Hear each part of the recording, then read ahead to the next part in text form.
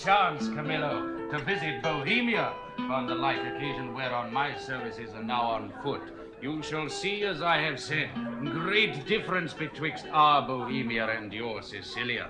I think this coming summer the King of Sicilia means to pay Bohemia the visitation which he justly owes him. Wherein our entertainment shall shame us, we will be justified in our loves. For indeed. I beseech you. Verily, I speak it in the freedom of my knowledge. We, we cannot, with such magnificence, in so rare, I know not what to say. Oh, For oh, we will give you sleepy drinks, that your senses, unintelligent of our insufficience, may, though they cannot praise us, as little accuse us. You pay a great deal too dear for what's given freely. Oh, believe me, I speak as my understanding instructs me, and as mine honesty puts it to.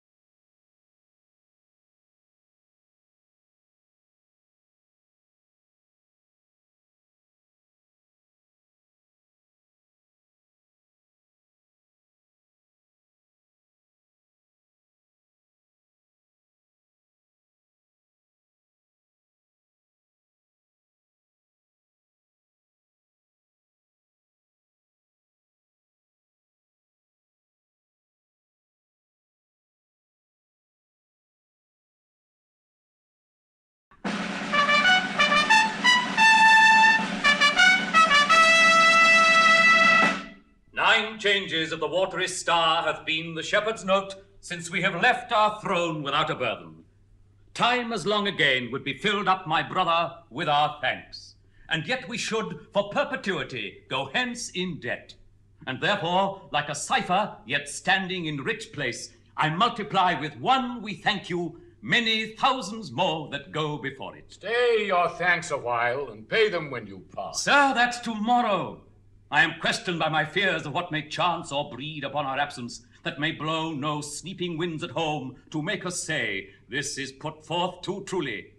Besides, I have stayed to tire your royalty. We are tougher, brother, than you can put us to it. No longer stay. One seven night longer. Very sooth tomorrow. We'll part the time betweens then, and in that I'll no gainsay. Press me not, beseech you so. There is no tongue that moves, none, none in the world, so soon as yours could win me. So it should now, were there necessity in your request, although 'twere needful I denied it. My affairs do even drag me homeward, which to hinder were in your love a whip to me. My stay to you a charge and trouble, to save both. Farewell, our brother. Tongue tied, our queen. Speak you. I had thought, sir, to have held my peace until you had drawn oaths from him not to stay. You, sir, charge him too coldly. Tell him you are sure all in Bohemia's well. This satisfaction the bygone day proclaimed. Say this to him, he's beat from his best ward. Well said, Hermione. To tell he longs to see his son were strong. But let him say so then, and let him go. But let him swear so, and he shall not stay. We'll thwack him hence with distaffs. Yet of your royal presence I'll adventure the borrow of a week.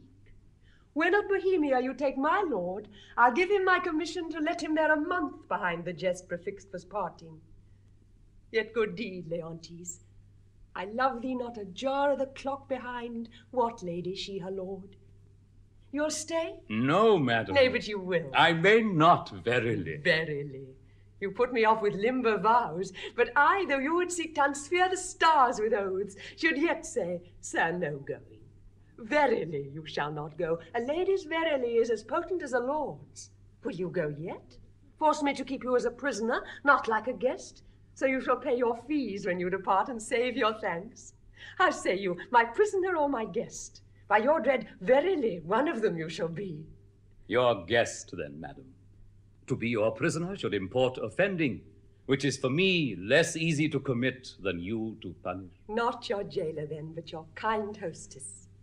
Come, I'll question you of my lord's tricks and yours when you were boys. You were pretty lordlings then? We were, fair queen, two lads that thought there was no more behind but such a day tomorrow as today, and to be boy eternal. Was not my lord the very wag of the two? We were as twin lambs that did frisk in the sun and bleat the one at the other. What we changed was innocence for innocence. We knew not the doctrine of ill doing, nor dreamed that any did. Had we pursued that life, and our weak spirits ne'er been higher reared with stronger blood, we should have answered heaven boldly, not guilty. The imposition cleared hereditary hours. By this we gather you have tripped since. Oh, my most sacred lady, temptations have since then been born to us. For in those unfledged days was my wife a girl. Your precious self had then not crossed the eyes of my young playfellow. Grace to boot. Of this make no conclusion, lest you say your queen and I are devils. Yet go on. The offenses we have made you do well answer. If you first sinned with us, and that with us you did continue fault, and that you slipped not with any but with us. Is he won yet? He is stay, my lord. At my request he would not. Hermione, my dearest, thou never spokest to better purpose. Never? Never but once. What have I twice said well? When was't before? I prithee tell me. Crams with praise and makes us fat as tame things. One good deed, dying tongueless, slaughters a thousand waiting upon that. Our praises are our wages. You may ride with one soft kiss a thousand furlongs, ere with spur we heat an acre. But to the girl, my last good deed was to entreat his stay. What was my first? It has an elder sister, or I mistake you. Oh, would her name were Grace. But once before I spoke to the purpose. When? Nay, let me have thy long. Why, that was when three crabbed months had soured themselves to death, ere I could make thee open thy white hand and clap thyself my love. Then didst thou utter, I am yours forever. Tis grace indeed. Why, lo you now, I have spoke to the purpose twice. The one forever earned a royal husband, the other for some while a friend. Too hot, too hot. To mingle friendship far is mingling bloods. I have tremor cordis on me. My heart dances, but not for joy, not joy. This entertainment may a free face put on, derive a liberty from heartiness, from bounty, fertile bosom, and will become the agent. To may I grant, but to be paddling palms and pinching fingers as now they are, and making practiced smiles as in a looking glass, and then to sigh as twere the more to the dear. Oh, that is entertainment my bosom likes not, nor my brows. Mamillius, art thou my boy? Aye, my good lord. Thanks. Why, that's my bawcock. What, has smutched thy nose? They say it is a copy out of mine. Come, Captain, we must be neat. Not neat, but cleanly, Captain. And yet the steer, the heifer, and the calf are all called neat. Still virginaling upon his palm. How now, you wanton calf? Art thou my calf? Yes, if you will, my lord. Thou want'st a rough passion the shoots that I have to be full like me. Yet they say we are almost as like as eggs. Women say so that will say anything, but were they false as o'er dyed blacks, as wind, as waters, false as dice are to be wished by one that fixes no bourne twixt his and mine, yet were it true to say this boy were like me.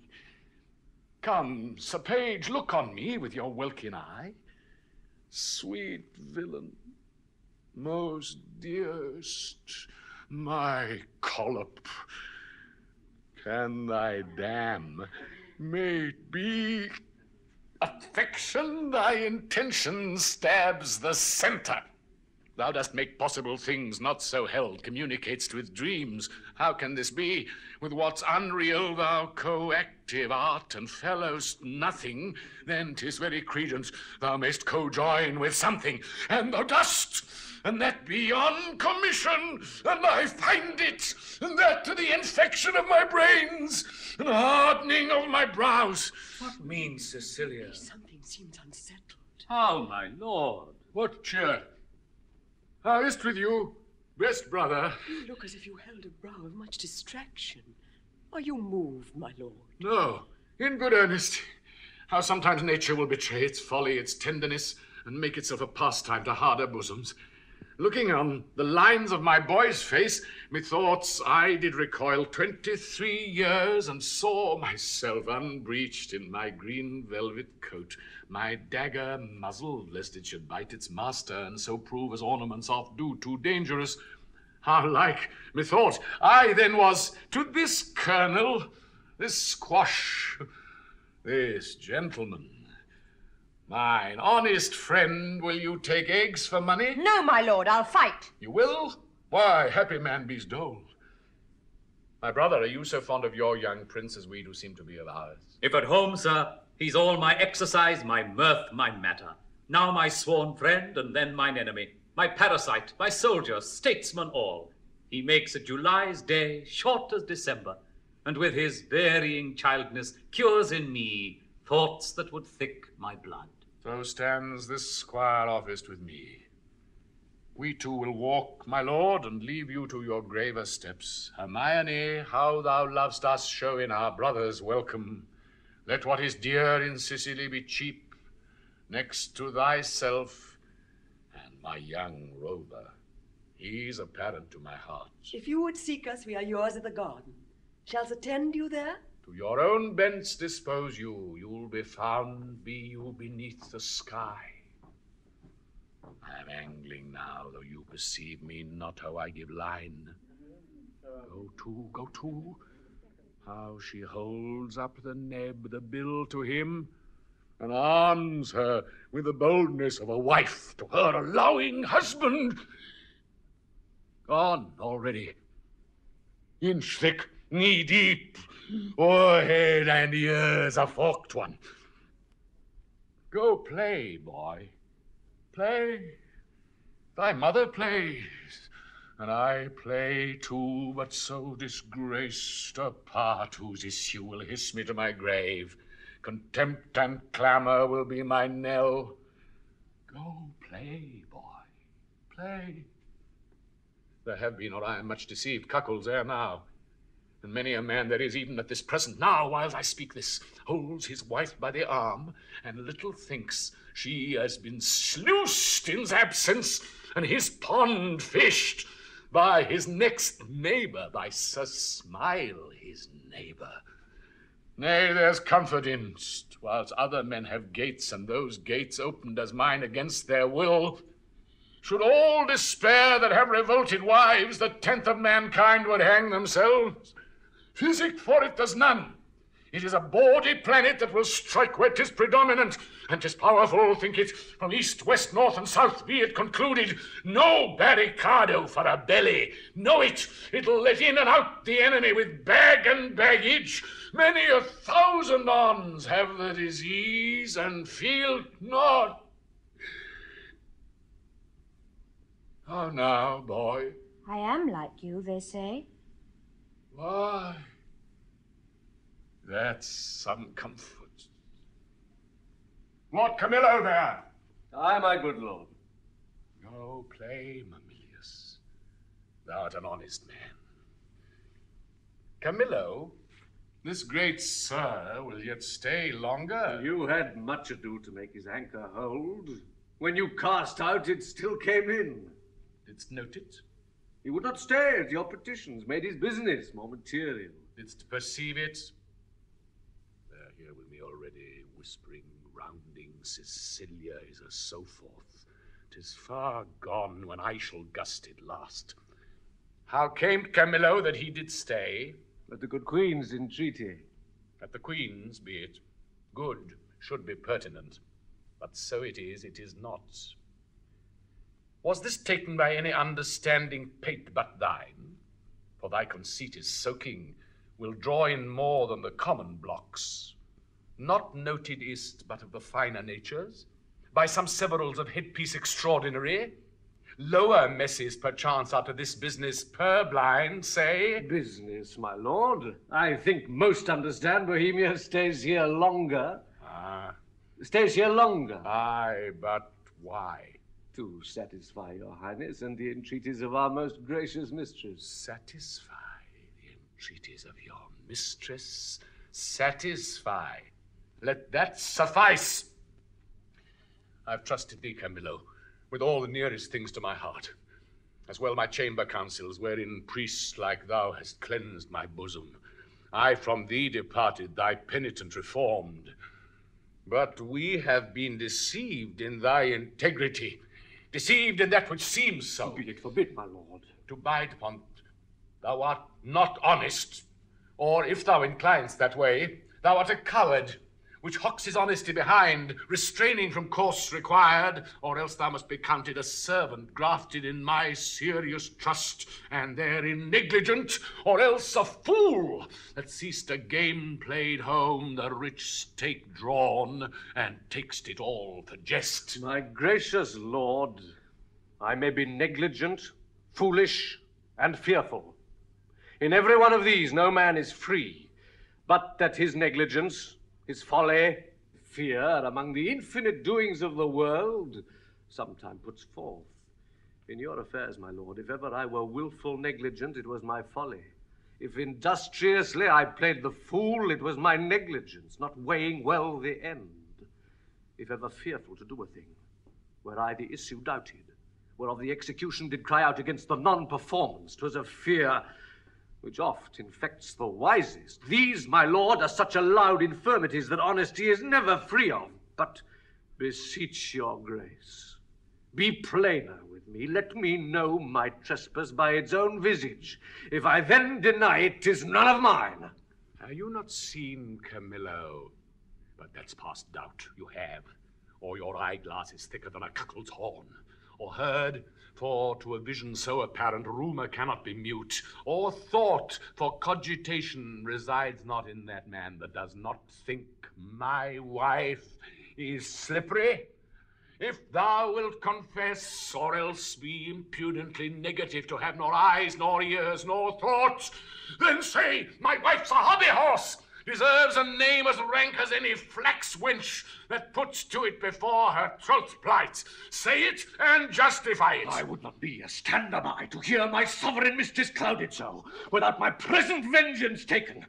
Shrew my heart, you never spoke what did become you less than this, which to reiterate was sin as deep as that, though true. is whispering nothing, is leaning cheek to cheek, is meeting noses, kissing with inside lip, stopping the career of laughter with a sigh, a note infallible of breaking honesty, horsing foot on foot, skulking in corners, wishing clocks more swift, hours, minutes, noon, midnight, and all eyes blind with the pin and web, but theirs, theirs only, that would unseen be wicked.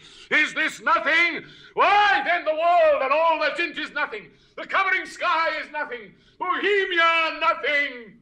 My wife is nothing, nor nothing have these nothings, if this be nothing. Good my lord, be cured of this diseased opinion, and betimes, for 'tis most dangerous. Say it be, 'tis true. No, no, my lord! Please, you lie, you lie. I say thou liest, Camillo, and I hate thee. Pronounce thee a gross lout, a mindless slave, or else a hovering temporizer, that canst with thine eyes at once see good and evil, inclining to them both. Were my wife's liver infected as her life, she would not live the running of one glass. Who does infect her? Why, he that wears her like her medal hanging about his neck. Bohemia! Oh, if I had servants true about me, that bear eyes to see alike mine honors, their profits, their own particular thrifts, they would do that which should undo more doing. I, and thou, his cupbearer, whom I from meaner form have benched and reared to worship, who mayst see plainly as heaven sees earth and earth sees heaven how I am gold, mightst bespice a cup to give mine enemy a lasting wink, which draught to me were cordial. Sir, My lord, I could do this, and that with no rash potion, but with a lingering dram that should not work maliciously like poison. But I cannot believe this crack to be in my dread mistress, so sovereignly being honorable, to have loved. Make that thy question and go rot. Dost think I am so muddy, so unsettled to appoint myself in this vexation? Sully the purity and whiteness of my sheets, which to preserve is sleep, which being spotted is goads, thorns, nettles, tails of wasps. Give scandal to the blood of the prince, my son, whom I do think is mine and love as mine, without right moving to it, would I do this? Could man so blench? I must believe you, sir. I do. And will fetch off Bohemia fort. Provided that when he's removed, your highness will take again your queen as yours at first, even for your son's sake, and thereby forestalling the injury of tongues in courts and kingdoms known and allied to yours. Thou dost advise me, even so as I mine own course have set down. I'll give no blemish to her honor, none. My lord, go then, and with a countenance as clear as friendship wears at feasts, keep with Bohemia and with your queen. I am his cupbearer.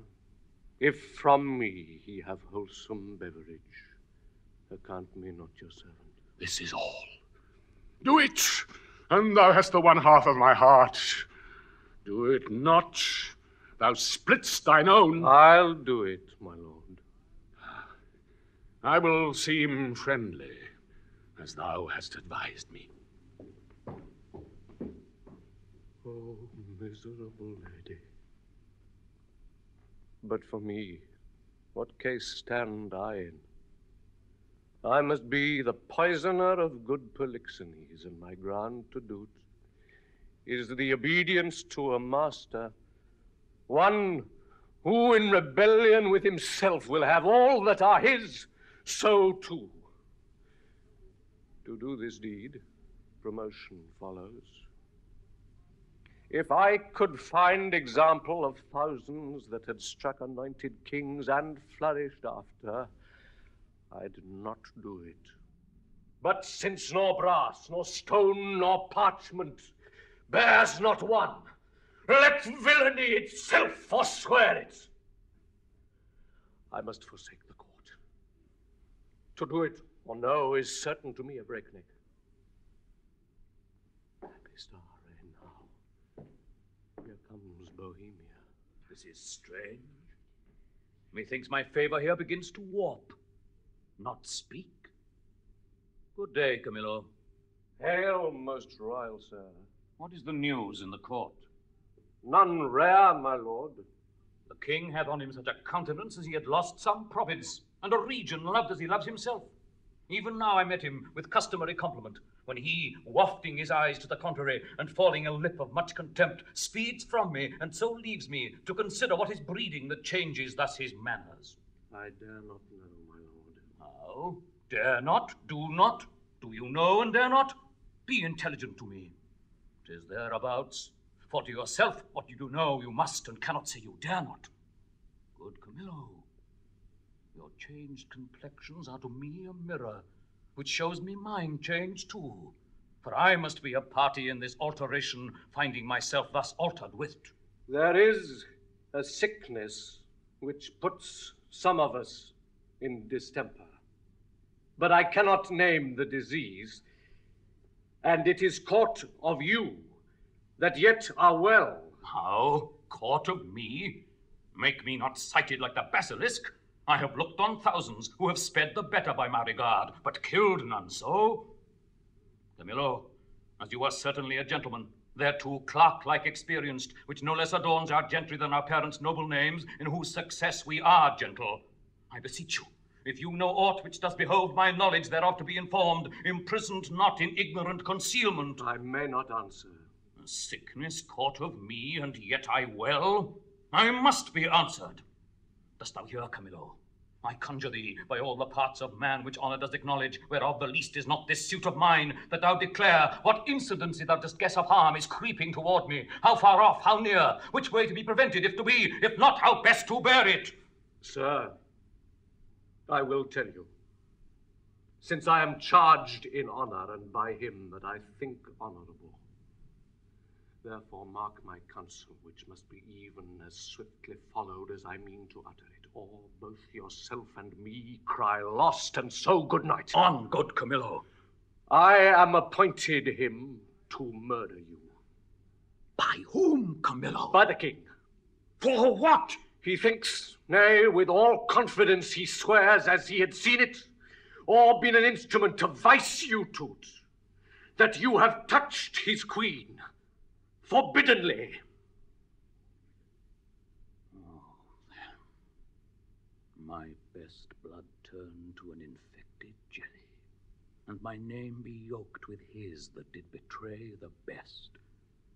Turn then my freshest reputation to a savour that may strike the dullest nostril where I arrive, and my approach be shunned, nay, hated too, worse than the greatest infection that e'er was heard or read. Swear this thought over by each particular star in heaven and by all their influences. You may as well forbid the sea for to obey the moon, as or by oath remove or counsel shake the fabric of his folly, whose foundation is piled upon his faith, and will continue the standing of his body. How should this grow? I know not, but I am sure 'tis safer to avoid what's grown than question how 'tis born.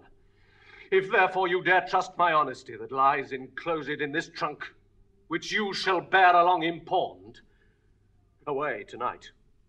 Your followers I will whisper to the business, and will by twos and threes at several posterns clear them of the city.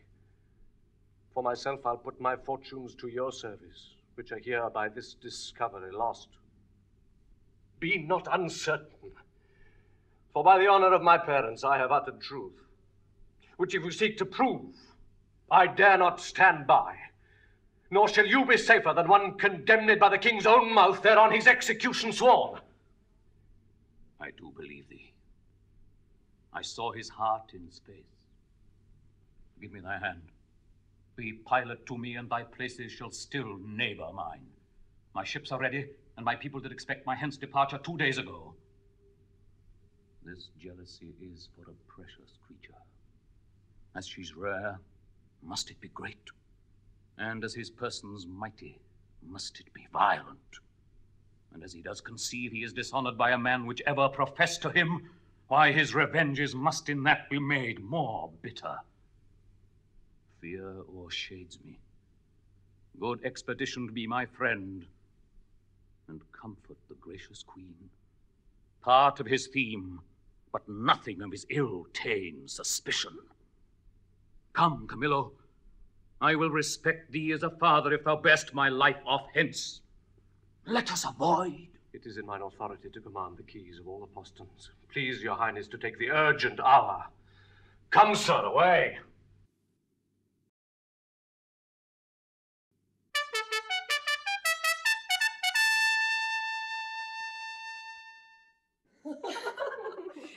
Boy to you. He so troubles me, me, 'tis past enduring. Come, my gracious lord, shall I be your playfellow? No, I'll none of you. Why, my sweet lord? You'll kiss me hard and speak to me as if I were a baby still. I love you better. And why so, my lord? Oh, not for because your brows are blacker.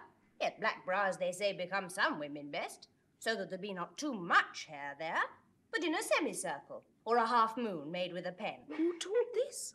I learned it out of women's faces. Pray now, what colour are your eyebrows? Blue, my lord. Oh, nay, that's a mock. I have seen a lady's nose that has been blue, but not her eyebrows. Hark ye, the queen your mother rounds apace. We shall present our services to a fine new prince one of these days, and then you'd wanton with us if we would have you. She is spread of late into a goodly bulk. Good time encounter her. What wisdom stirs amongst you? Come, sir, now I am for you again. Pray you sit by us and tell us a tale. Merry or sad shall't be? As merry as you will. A sad tale's best for winter. I have one of sprites and goblins. Let's have that, good sir. Come on, sit down. Come on, and do your best to fright me with your sprites. You're powerful at it. There was a man Nay, come sit down, then on. dwelt by a churchyard. I will tell it softly. Yond crickets shall not hear it. Come on, then, and give me in mine ear. Was he met there? His train? Camillo with him? Behind the tuft of pines I met them. Never saw I men scour so on their way. I eyed them even to their ships. How blessed am I in my just censure, in my true opinion, a lack for lesser knowledge. How accursed in being so blessed. There may be in the cup a spider steeped, and one may drink, depart, and yet partake no venom, for his knowledge is not infected. But if one present the abhorred ingredient to his eye, make known how he hath drunk, he cracks his gorge, his sides with violent hefts. I have drunk and seen the spider. Camillo was his help in this, his pander. There is a plot against my life, my crown, all's true that is mistrusted. That false villain whom I employed was pre employed by him. He has discovered my design, and I remain a pinched thing, yea, a very trick for them to play at will. How came the postern so easily open? By his great authority, which often hath no less prevailed than so on your command. I know it too well. Give me the boy. I am glad you did not nurse him. Though he does bear some signs of me, yet you have too much blood in him. What is this, sport? Bear the boy hence, he shall not come about her. Away with him, and let her sport herself with that she's big with. For 'tis Polixenes hath made thee swell thus. But I'd say he had not, and I'll be sworn you would believe my saying, howe'er you lean to the nayward. You, my lords, look on her, mark her well. Be but about to say she is a goodly lady, and the justice of your hearts will thereto add. 'Tis pity she's not honest, honorable. Praise her, but for this her without door form, which on my faith deserves high speech, and straight the shrug, the hum or ha, these petty brands that calumny doth use. Oh, I am out. That mercy does, for calumny will sear virtue itself. These shrugs, these hums and ha's, when you have said she's goodly, come between ere you can say she's honest. But be it known, from him that has most cause to grieve, it should be, she's an adulteress. Should a villain say so, the most replenished villain in the world, he were as much more villain. You, my lord, do but mistake. You have mistook my lady Polixenes for Leontes. Oh, thou thing which I'll not call a creature of thy place, lest barbarism, making me the precedent, should a like language used to all degrees, unmannerly distinguishment leave out betwixt the prince and beggar. I have said she's an adulteress. I have said with whom. More, she's a traitor, and Camillo is a federally with her, and one that knows what she should shame to know herself, but with her most vile principle, that she's a bed swerver, even as bad as those that vulgars give bolts titles, aye, and privy to this their late escape. No, by my life, privy to none of this. How will this grieve you? When you have come to clearer knowledge that you thus have published me.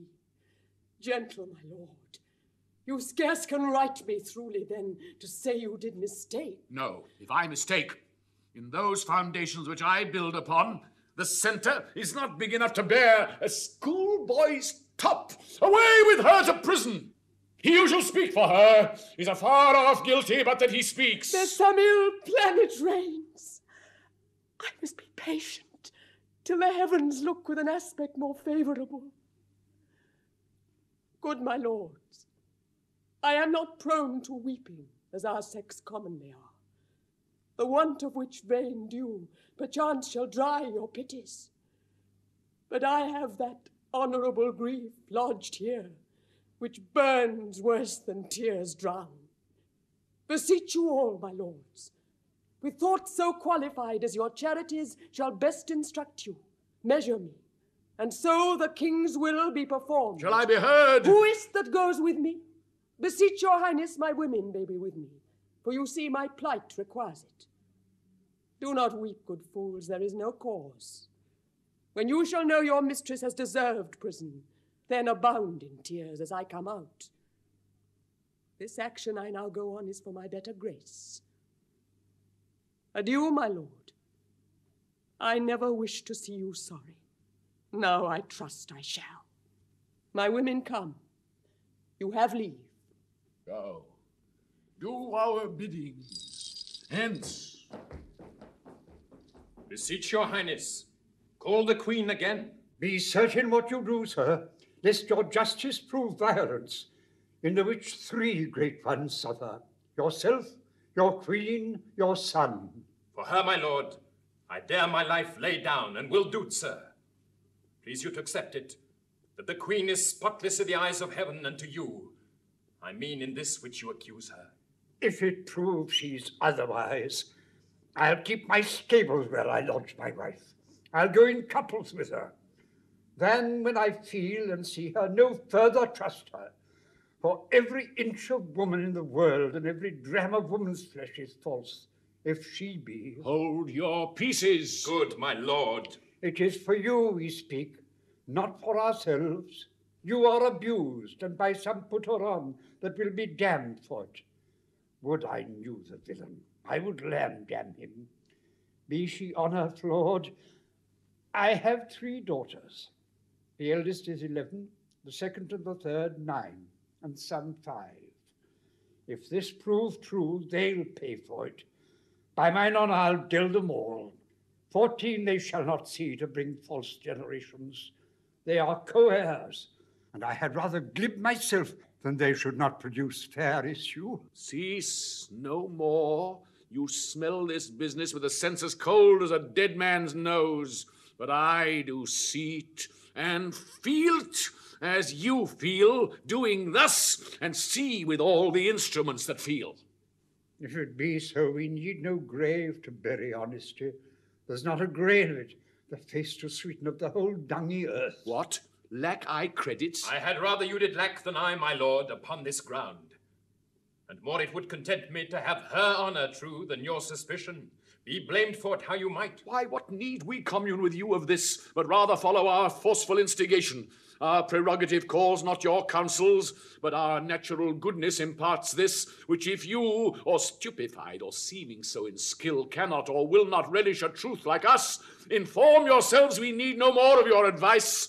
The matter, the loss, the gain, the ordering on't is all properly ours. And I wish, my liege, you had only in your silent judgment tried it, without more overture. How could that be? Either thou art most ignorant by age, or thou wert born a fool. Camillo's flight added to their familiarity, which was as gross as ever touched conjecture, that lacked sight only, naught for approbation, but only seeing all other circumstances made up to the deed, doth push on this proceeding. Yet, for a greater confirmation, for in an act of this importance twere most piteous to be wild, I have dispatched in post to sacred Delphos, to Apollo's temple, Cleomenes and Dion, whom you know of stopped sufficiency. Now, from the oracle they will bring all whose spiritual counsel had shall stop or spur me. Have I done well? Well done, my lord. Though I am satisfied and need no more than what I know, yet shall the oracle give rest to the minds of others, such as he whose ignorant credulity will not come up to the truth.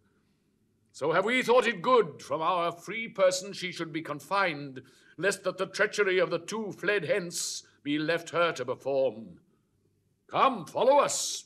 We are to speak in public, for this business will raise us all. To laughter, as I take it, if the good truth were known.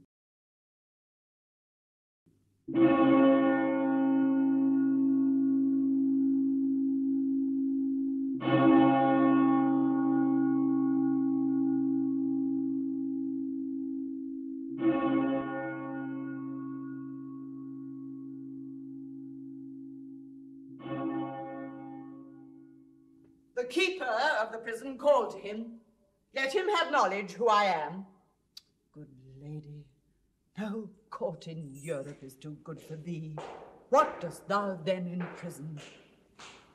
Now, good sir, you know me, do you not? For a worthy lady and one whom much I honor. I pray you then conduct me to the queen. I may not, madam. To the contrary, I have express commandment. Here's a do. To lock up honesty and honor from the access of gentle visitors. Is't lawful, pray you, to see her women? Any of them? Emilia. So please you, madam, to put apart these your attendants, I shall bring Emilia forth. I pray now call her. Withdraw yourselves. And, madam, I must be present at your conference. Well, be it so, prithee. Here's such a do to make no stainer. Stainer's passes colouring.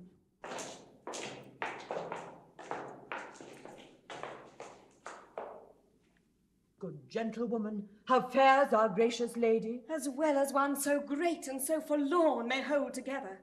On her frights and griefs, which never tender lady hath borne greater, she is something before her time delivered. A boy? A daughter, a goodly babe, lusty and like to live. The queen receives much comfort in't, says, My poor prisoner, I am innocent as you. I dare be sworn. These dangerous, unsafe lunes of the king beshrew them. He must be told on't, and he shall. The office becomes a woman best. I'll take it upon me. If I prove honey-mouthed, let my tongue blister, and never to my red-looked anger be the trumpet any more. Pray you, Emilia, commend my best obedience to the queen.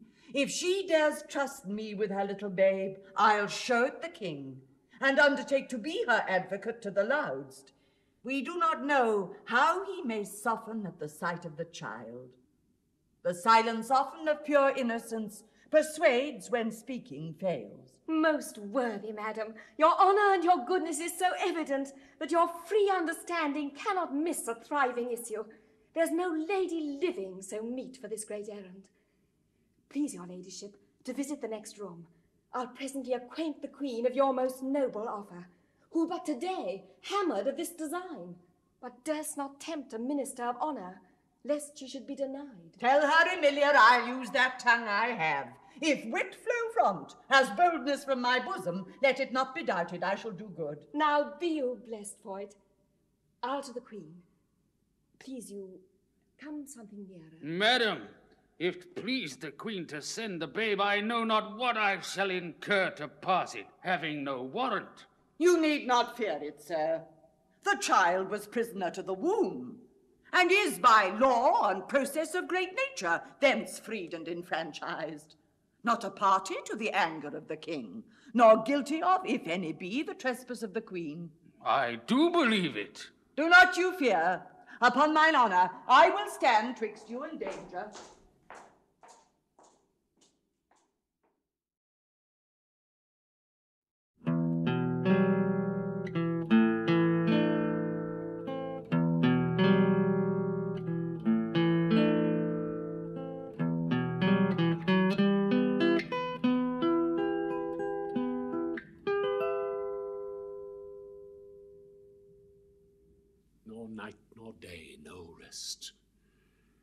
But weakness to bear the matter thus. Mere weakness.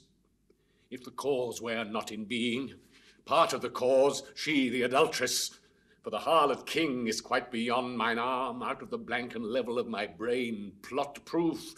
But she I can hook to me, say that she were gone, given to the fire. The moiety of my rest might come to me again. Who's there? My lord, How does the boy? He took good rest tonight. Tis hoped his sickness is discharged. To see his nobleness.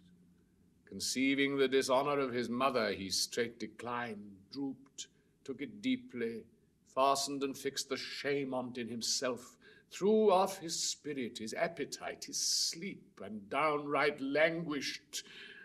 Leave me solely, go see how he fares. Ay, fie, no thought of him. The very thought of my revenges that way recoil upon me. In himself too mighty, and in his parties his alliance, let him be until a time may serve. For present vengeance take it on her. Camillo and Polixenes laugh at me, make their pastime at my sorrow. They should not laugh if I could reach them, nor shall she within my power. No, no, I say that I will see the You king. must not enter! Nay, rather, good my lords, be second to me.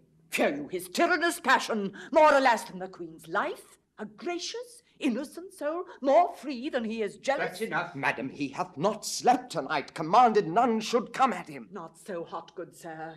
I come to bring him sleep. 'Tis such as you that creep like shadows by him, and do sigh at each his needless heavings, such as you nourish the cause of his awaking. I, to come with words as medicinal as true, honest as either, to purge him of that humour that presses him from sleep. What noise there, ho? No noise, my lord, but needful conference about some gossips for your highness. How? Away with that audacious lady. Antigonus, I charged thee that she should not come about me. I knew she would. I told her so, my lord. On your displeasure's peril and on mine, she should not visit you. What canst not rule her? From all dishonesty he can. In this, unless he take the course that you have done, commit me for committing honour. Trust it, he shall not rule me. Allow you now, you hear. When she will take the rein, I let her run. But she'll not stumble. Good my liege, I come, and I beseech you hear me, who profess myself your loyal servant, your physician, your most obedient counsellor. Yet that dare less appear so in comforting your evils than such as most seem yours. I say I come from your good queen. Good queen? Good queen, my lord, good queen. I say good queen, and would by combat make her good. So were I a man the worst about you. Force her hence. Let him that makes but trifles of his eyes first hand me. On mine own accord I'll off. But first, I'll do my errand. The good queen, for she is good, hath brought you forth a daughter. Here it is. Commends it to your blessing. Out, a mankind witch! Hence with her out a door! A most intelligencing bore! Not so. I am as ignorant in that as you in so entitling me, and no less honest than you are mad, which is as much I'll want it as this world goes to pass for honest. Traitors, will you not push her out? Give her the bastard! Thou dotard, thou art woman tired, unroosted by thy dame Partlet here. Take up the bastard. Take up, I say, give thy crow. Forever unvenerable be those hands, if thou takest up the princess by that forced baseness which he hath put upon. He dreads his wife. So I would you did. Then twere past all doubt you'd call your children yours. A nest of traitors. I am none by this good right. Nor I, nor any but one that's here, and that's himself. For he, the sacred honour of himself, his queens, his hopeful sons, his babes, betrays to slander, whose sting is sharper than the swords, and will not, for as the case now stands, it is a curse he cannot be compelled to, once remove the root of his opinion, which is rotten, as ever Okos stone was sound. A callet of boundless tongue, who late hath beat her husband, and now baits me. This brat is none of mine. It is the issue of Polixenes. Hence with it, and together with the dam commit them to the fire. It is yours. And might we lay the old proverb to your charge, so like you, 'tis the worse. Behold, my lords, although the print be little, the whole matter and copy of the father, eye, nose, lip, the Trichum's frown, his forehead, nay, the valley, the pretty dimples of his chin and cheek, his smiles, the very mould and frame of hand, nail, finger. And thou, good goddess nature, which hast made it so like to him that got it, if thou hast the ordering of the mind too, mongst all colours, no yellow in't, lest she suspect as he does, her children not her husband's. A gross hag. And Losel, thou art worthy to be hanged, and will not stay her tongue. Hang all the husbands that cannot do that feat. You'll leave yourself hardly one subject. Once more, take her hence. A most unworthy and unnatural lord can do no more. I'll have thee burned. I care not. It is an heretic that makes the fire, not she which burns in't. I'll not call you tyrant, but this most cruel usage of your queen, not able to produce more accusation than your weak-hinged fancy, something savours of tyranny, and will ignoble make you, yea, scandalous to the world. What your allegiance? Out of the chamber with her! Were I a tyrant, where were her life? She durst not call me so if she did know me one. Away with her! I pray you do not push me. I'll be gone. Look to your babe, my lord. Tis yours. Jove send her a better guiding spirit. What needs these hands? You that are thus so tender or his follies will never do him good. Not one of you.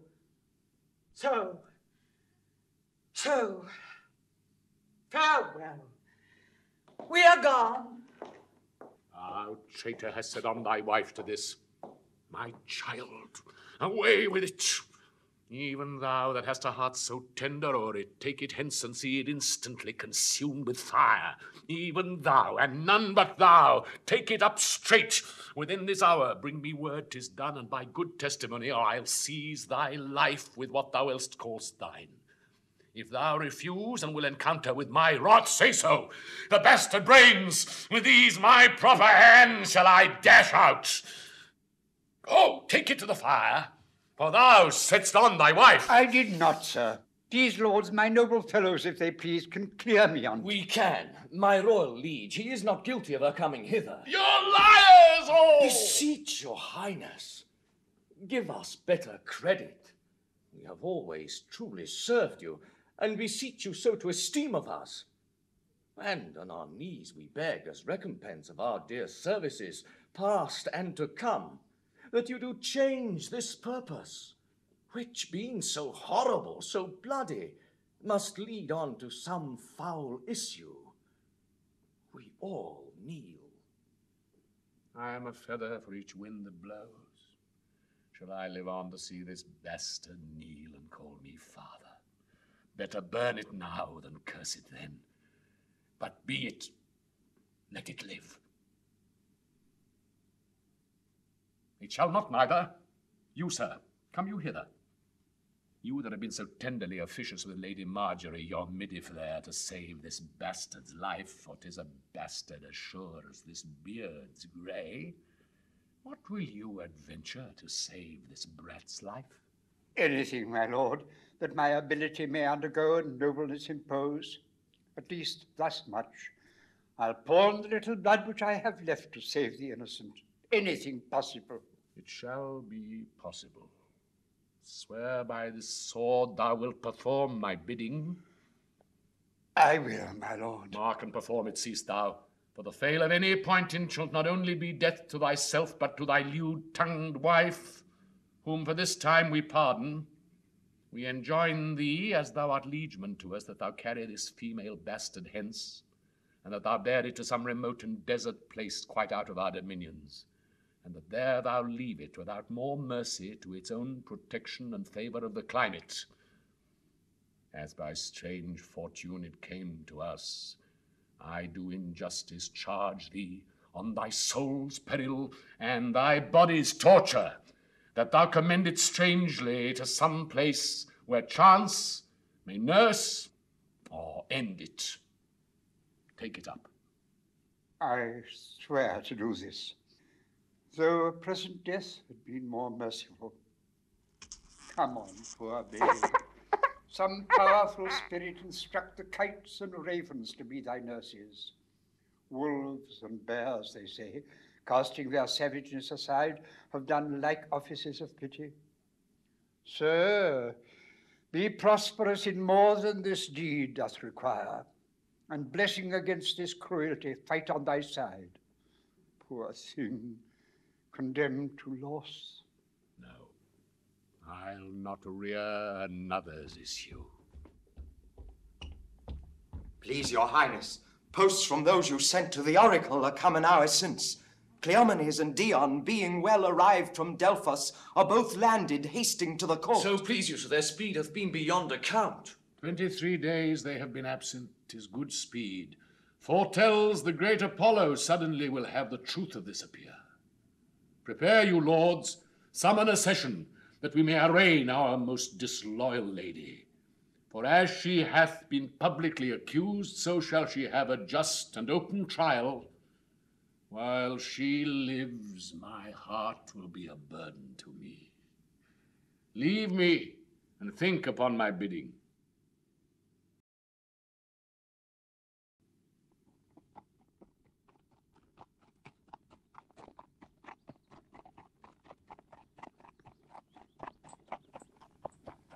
Climate's delicate, the air most sweet, fertile the isle, the temple much surpassing the common praise it bears. I shall report, for most it caught me, the celestial habits, methinks I so should term them, and the reverence of the grave wearers. Oh, the sacrifice! How ceremonious, solemn, and unearthly it was at the offering. But of all, the burst and the ear-deafening voice of the oracle, kin to Jove's thunder, so surprised my sense that I was nothing. If the event of the journey prove as successful to the Queen, oh, be it so, as it hath been to us rare, pleasant, speedy, the time is worth the use on't. Great Apollo, turn all to the best. These proclamations, so forcing faults upon Hermione, I little like. Violent carriage of it will clear or end the business. When the oracle, thus by Apollo's Greek divine, sealed up, shall the contents discover, something rare even then will rush to knowledge.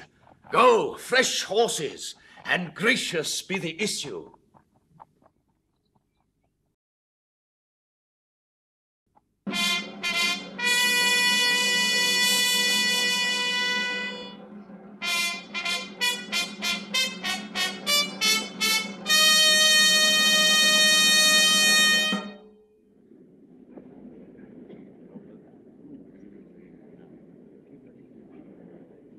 This session, to our great grief, we pronounce, even pushes against our heart. The party tried, the daughter of a king, our wife, and one of us too much beloved. Let us be clear of being tyrannous, since we so openly proceed in justice, which shall have due course even to the guilt or the purgation.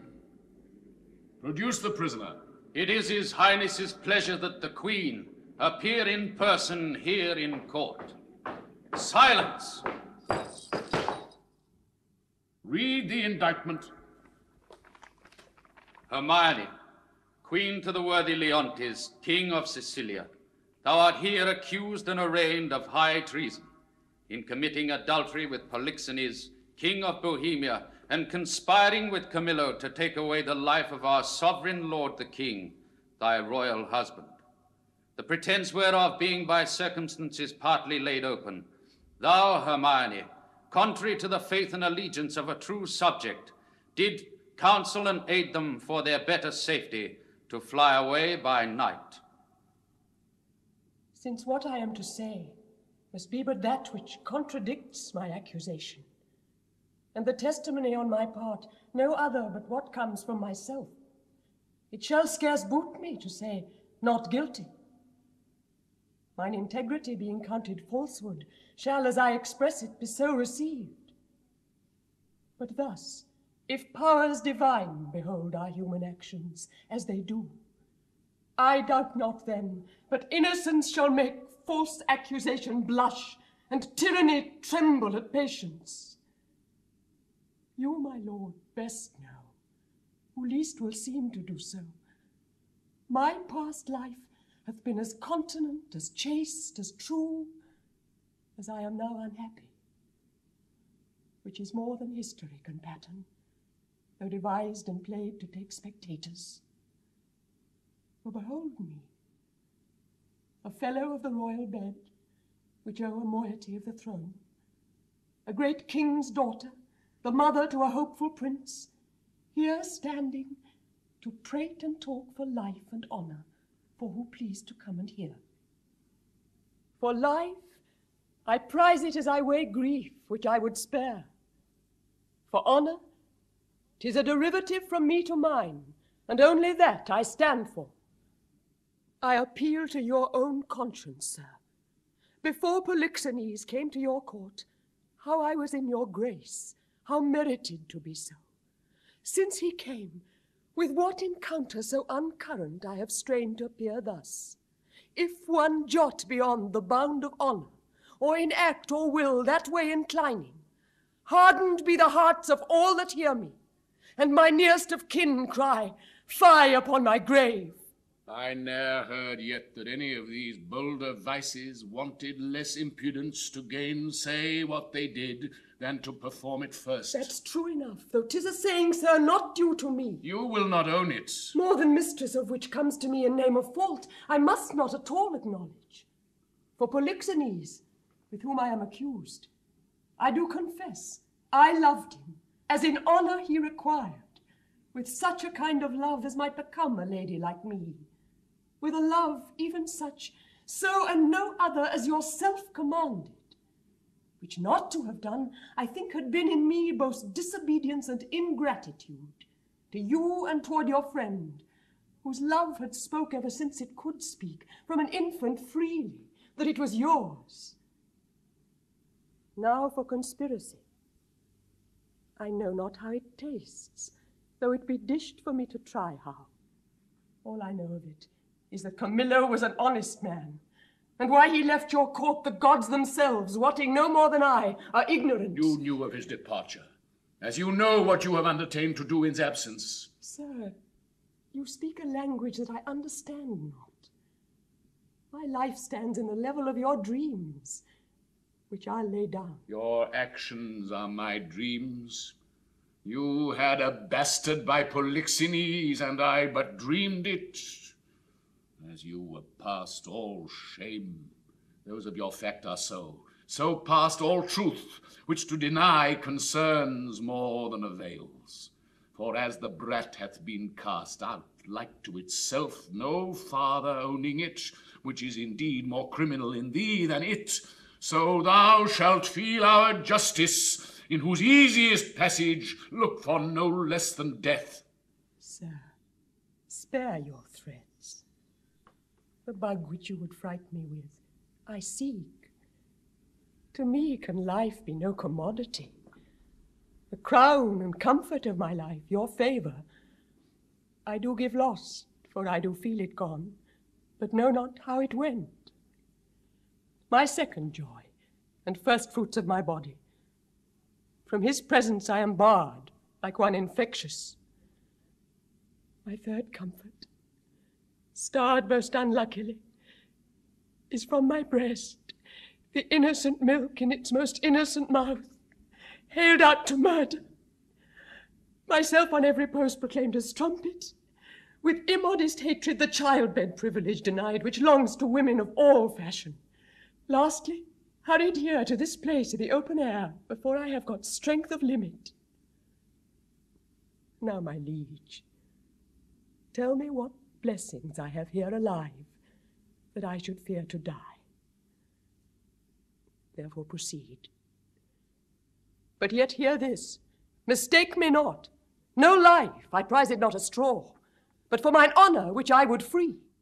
If I shall be condemned upon surmises, all proof sleeping else but what your jealousies awake, I tell you 'tis rigor, not law. Your honors all, I do refer me to the oracle. Apollo be my judge. This your request is altogether just. Therefore bring forth, and in Apollo's name, his oracle. The Emperor of Russia was my father. Oh, that he were alive and here beholding his daughter's trial. That he did but see the flatness of my misery. yet with eyes of pity, not revenge.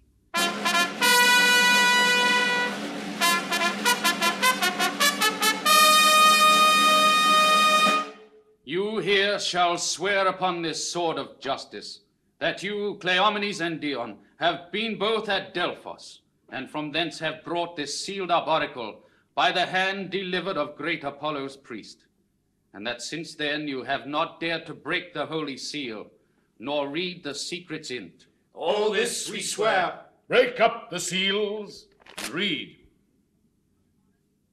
Hermione is chaste, Polixenes blameless, Camillo a true subject, Leontes a jealous tyrant, his innocent babe truly begotten, and the king shall live without an heir, if that which is lost be not found.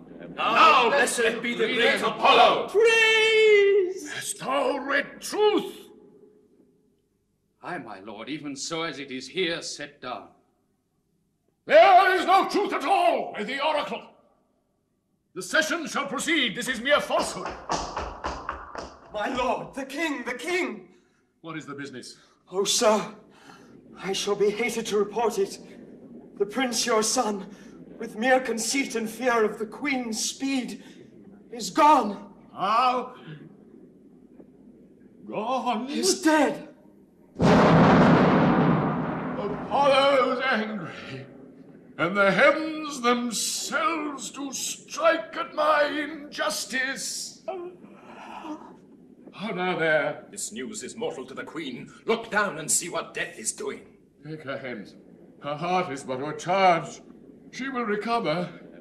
I have too much believed mine own suspicion. Beseech you tenderly apply to her some remedies for life.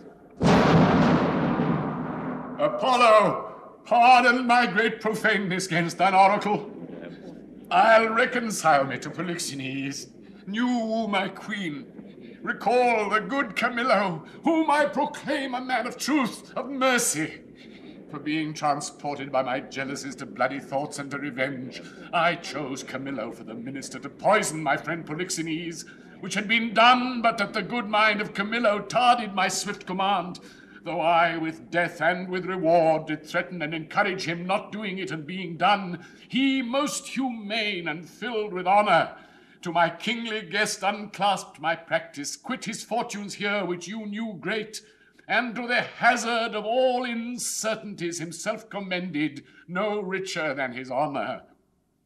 How he glisters through my rust, and how his piety does my deeds make the blacker. Woe the while! Oh, cut my legs, lest my heart cracking it break too. What fit is this, good lady? What studied torments, tyrant, hast for me? What wheels, racks, fires? What flaying, boiling in leads or oils? What old or newer tortures must I receive, whose every word deserves to taste of thy most worst? Thy tyranny, together working with thy jealousies, fancies too weak for boys, too green and idle for girls of nine.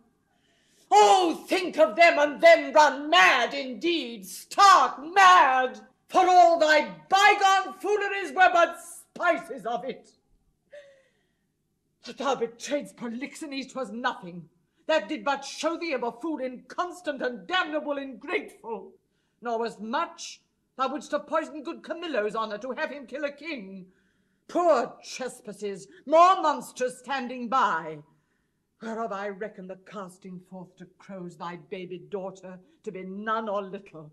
Though a devil would have shed water out of fire ere done't, nor is directly laid to thee the death of the young prince, whose honourable thoughts, thoughts high for one so tender, cleft the heart that could conceive a gross and foolish sire, blemished his gracious dam.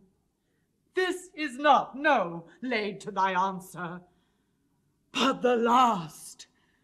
O lords, when I have said, cry woe. The queen the queen, the sweetest, dearest creatures, dead. And vengeance fought, not dropped down yet. The higher powers forbid. I say she's dead, I'll swear it. If word or oath prevail not, go and see. If you can bring tincture or luster to her lip, her eye, heat outwardly or breath within, I'll serve you as I would do the gods. But oh, thou tyrant, do not repent these things, for they are heavier than all thy woes can stir. Therefore betake thee to nothing but despair. A thousand knees, ten thousand years together, naked, fasting upon a barren mountain, and still winter in storm perpetual, could not move the gods to look that way thou wert. Go on, go on. Thou canst not speak too much. I have deserved all tongues to talk their bitterest. Say no more. Howe'er the business goes, you have made fault of the boldness of your speech. I am sorry for it. All faults I make, when I shall come to know them, I do repent. Mm-hmm. Alas, I have showed too much the rashness of a woman. He is touched to the noble heart. What's gone and what's past help should be past grief. Do not receive affliction at my petition. I beseech you, rather let me be punished that have minded you of what you should forget. now, good my liege, sir, royal sir, forgive a foolish woman. The love I bore your queen, ah. no fool again. I'll speak of her no more, nor of your children. I'll not remember you of my own lord, who is lost too. Take your patience to you, and I'll say nothing. Thou didst speak but well, when most the truth, which I receive much better than to be pitied of thee. Prithee bring me to the dead bodies of my queen and son. One grave shall be for both, upon them shall the causes of their death appear unto our shame perpetual. Once a day I'll visit the chapel where they lie, and tears shed there shall be my recreation. So long as nature will bear up with this exercise, so long I daily vow to use it. Come and lead me to these sorrows.